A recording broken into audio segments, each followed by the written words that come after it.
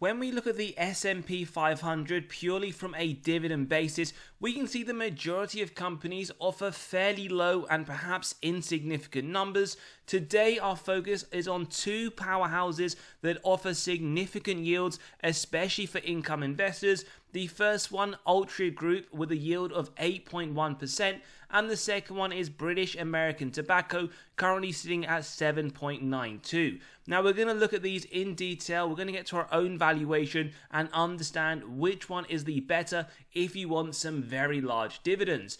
Now, a few things that we have to note as well. Firstly, the industry itself, as we can see over time, a lot of people have started to smoke less, so this isn't necessarily an industry that we would say is growing. In fact, as we can see, this figure above shows us the change in proportion of those smokers among 12th grade American high school students and dates back to 1975. Now, maybe this isn't a population which is enough to warrant an investment decision on, but it is interesting to note that a lot of the research we have done, we can see that globally smoking does seem to be something that has been decreasing. Now, there are other alternatives which people have been taking up, and when we do look into the expectations moving forwards, there is still growth anticipated, in fact, over the next 10 years, and we can see this does sit around 2.9%, going up to around 2033, so for around the next 10 years. Now, whilst this may not be very high numbers, ultimately, when you do invest in companies with high yields,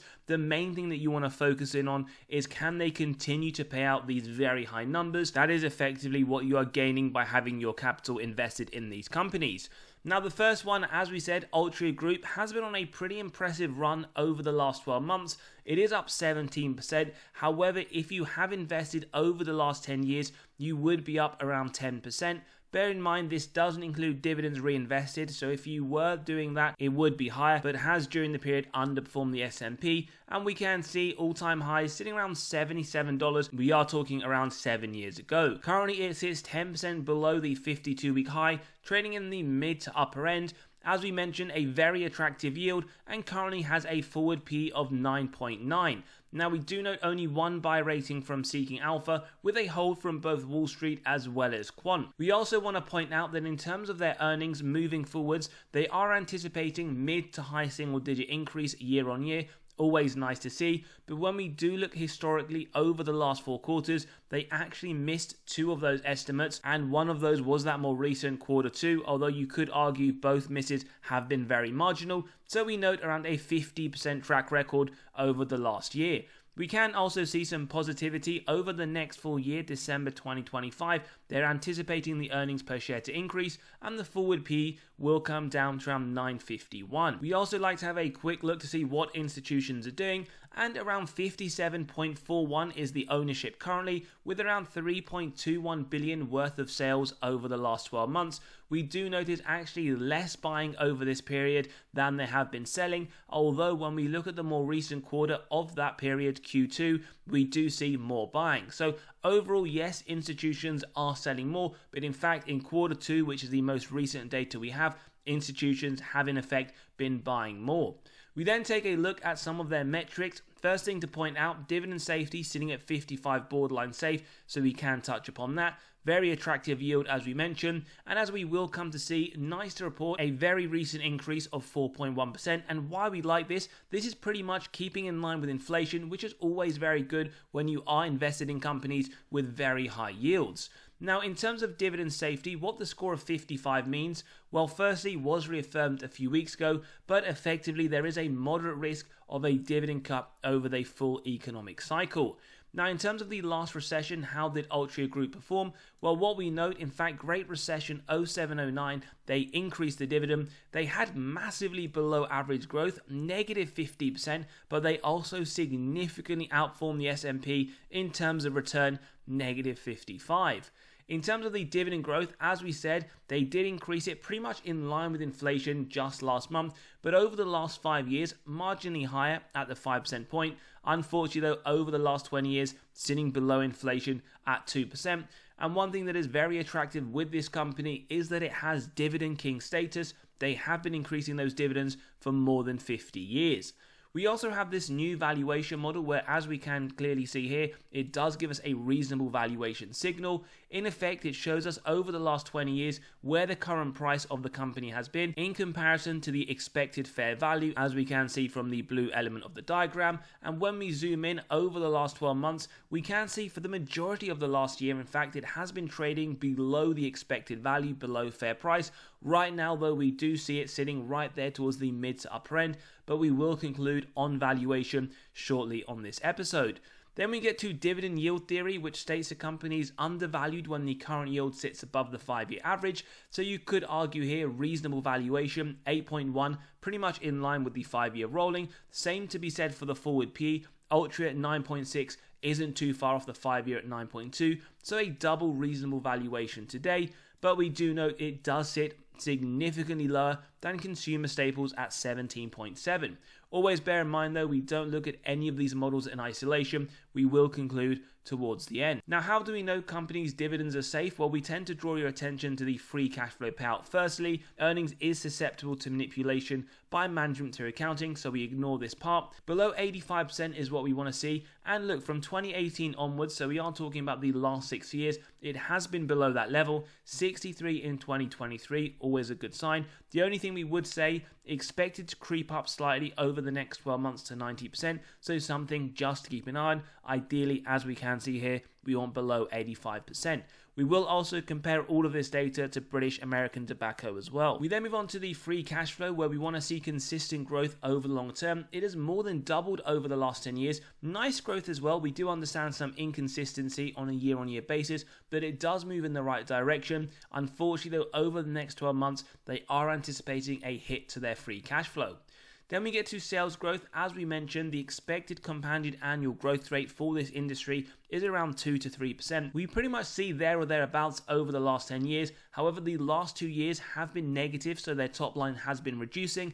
And ultimately, why we do say a minimum of 3% on this channel, because if a company isn't increasing their top line by that rate, effectively it is lower than the inflation target and therefore in terms of real numbers it is decreasing. So in effect when we do take a look at their total sales 18 billion in 2014 21 in 2023. Do understand this isn't like a fast growing tech company. We don't expect massive growth. Ultimately, this is a company that you would look at for the very high dividends. Whether you use that for other purposes outside of investing or to reinvest, that is completely down to your own investment thesis. One thing that's also very nice with Altria Group is they have returned excess cash through those share buybacks, although very small on a year on year basis, so don't expect massive amounts. And what we have noted from the more recent earnings, this is something they do expect to continue over the next year. We then get to ROIC looking very strong, above 15% is what we want for tobacco companies. And in fact, from the lows of 2018, where it was 22%, it has been increasing very strong over the last two years. And ultimately, these numbers give us faith that management are able to effectively allocate their capital. When we do come to look at it in comparison to BTI, Altria Group does have a much better metric with regards to ROIC. Operating margin as well, we do note some very strong operating efficiency, not only above the minimum 25%, but increasing over the longer term, 59% over the last two years. These are some very strong signs for a company in this industry. And we can note this is a free cash flow machine. Last few years, very, very high, 40 to 50%. And it does look to be very consistent when you do broaden it out to the 10 year period. We then finally get to the net debt to EBITDA, which will be one reason why we have that dividend safety score, because ultimately this metric correlates to dividend safety, balance sheet strength we want to see below three for tobacco companies. Number of years it would take the company to pay off all of their debt. And as we can see here, 2.54 in 2018, and it has been coming down to 1.79 in 23 expected marginally higher over the next 12 months. So we do believe that this company's dividend does look to be secure for now. No real reasons why we should have any worries, just something we would say keep an eye on that free cash flow payout. Then we move to the valuation of Altria Group. As always, if you enjoy the content, values being provided, smash that like button, hit that subscribe and bell button so you are continually notified of these videos as they drop. So our intrinsic value of $57, how we got that today? Well, we ran through these three models. We have Graham's valuation model where we have the earnings per share, long-term growth rate, AAA corporate bond yield, giving us an undervaluation signal, intrinsic value $59. Remember though, we don't look at any of these models in isolation, and whilst we have excluded the multiples valuation model today, you can see if we were to use it, it would give an intrinsic value of $64. Reason why we've excluded it, Altria does trade at a very low PE in comparison to the others in the sector, so it would skew this process by quite some distance, but number is there if you do want to use it yourself. We then have the dividend discount model, very nice increases over the last few years at around the inflation point, as we can see 3.96 However, we've gone a lot more conservative at 1%, and we can in fact see if they were to only increase it at that level moving forwards, we would still get another undervaluation signal. We then move on to the DCF model with the free cash flow year on year. Now, average growth at around 12%. We've gone again conservative, negative 3 for those that do believe this industry is dying or they won't be able to increase it by a sufficient amount. We then use the discount rate to get the present value of future free cash flows and terminal value, add together with the cash, subtract total debt, get the equity value, divide by shares outstanding, and as we can see here, our undervaluation signal. We then move on to the intrinsic value, as we said, the average of these three models, and you can always grab a copy of this model by clicking on the pinned comment below, running your own numbers, whether it's for Altria, BTI, or any others that you do wish. So we then use a margin of safety, and we always like to start off with 10%, execute on that if it meets our three golden criteria, wide moat, strong financial metrics, and good forward looking data. If you believe that, well, a buy up to $51, and that is pretty much where this company sits today at a 10% MOS. If we were to use 15%, you'd have to wait for 48, at 20% around 46, but as we can see in today's episode, a 10% MOS, Wall Street aren't very bullish. They have a $51 price target with only 1% upside. But again, depending on what type of investor you are, this could be one to think about whether you're happy at a 10% MOS or if you do believe it will fall over the next few months. Now, before we jump into BTI, just to let you know, we are releasing our next free weekly article tomorrow morning. We typically talk about a market update from the previous week, as well as some undervalued dividend stocks for your own consideration. If you want access to this or any others, you can grab a copy by clicking on the pinned comment below, and you will also be able to grab our undervalued 25 dividend stocks for the month of September, where we also look at those that sit within our own portfolio. We have also released 22 dividend stocks with the most upside according to Wall Street. So again, do click on the pinned comment below where you can sign up and read straight away. So now we're taking a look at British American Tobacco. As we said, very attractive yield, 7.92%. We get now a double buy signal with a hold from Quant. This one is trading at the upper end of the 52 week range, and we note a forward PE sitting at 7.93 over the last year, up 11%, lacking behind Altria Group. And over the last 10 years, we actually get negative performance of negative 35 versus Altria that we saw up around 10 to 11%. And all time highs sitting in 2017, again, very similar period to Altria Group at around $73. Right now, trading pretty much half that value. Now, we don't have any data in terms of how their earnings projections has been, but what we can see from December 2024, so this year, full year, they are anticipating growth to continue to the earnings per share, bringing down that forward PE to around 7.64. We also note, in fact, unlike Altria Group, institutions have been buying a lot more than they have been selling 526 versus 402, but the institutional ownership does sit low at 21.44 and in the more recent quarter, they have been buying more shares. So, not just in Q2, like we saw for Altria Group, more institutional buys, but also in terms of the last 12 months, it does seem to be the case for BTI. Then we take a look at this company's dividend safety, so 10 points less than what we saw for Altria, 45 borderline safe, and we do also get a very mediocre increase in February at 2%, as we saw with Altria, at least in line with inflation at 4.1%. So ultimately, it does still mean the very same thing here that there is a moderate risk of a dividend cut. It is just nearer to that unsafe score than what we saw for the 55 for Altria Group. In terms of last recession, while they increased the dividend, they had plus 5% sales and they also outperformed the S&P negative 31%.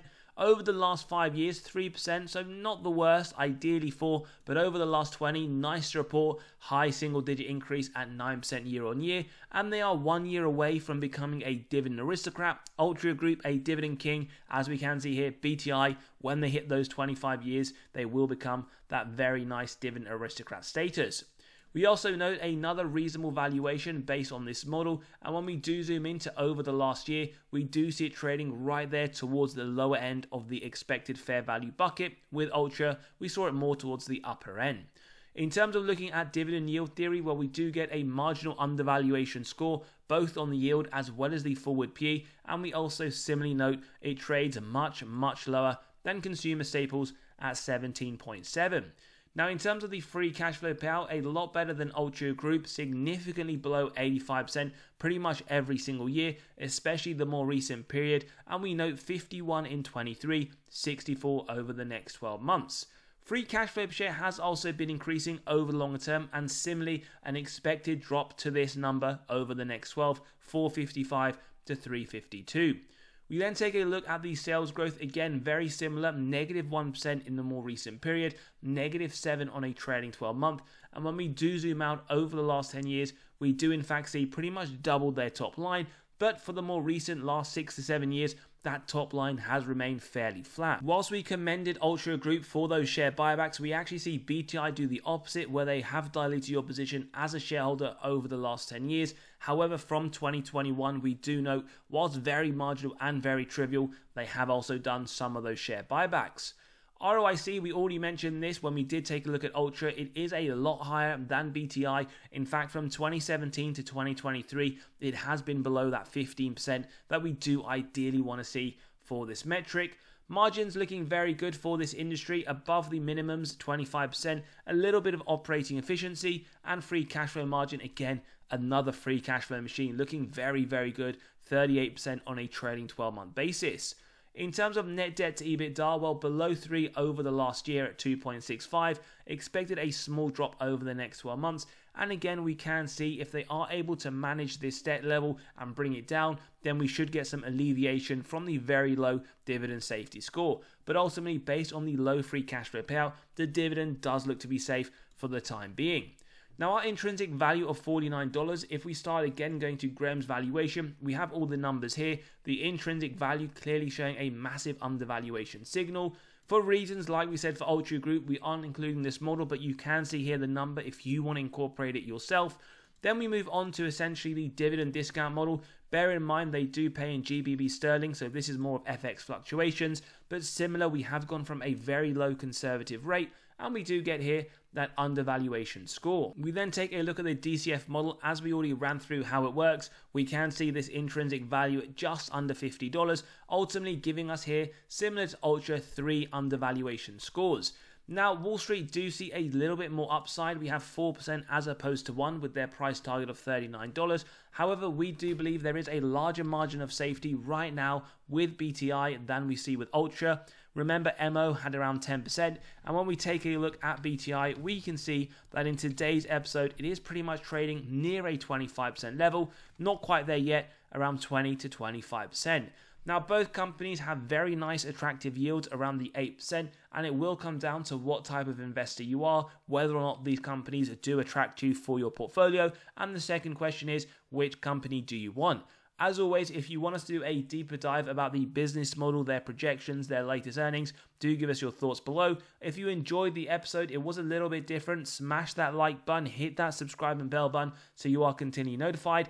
Don't forget to sign up to the free weekly newsletter below and come and join us in the Patreon where we do talk about our weekly buys and sells. As always, have a great day and we'll see you all on the next one.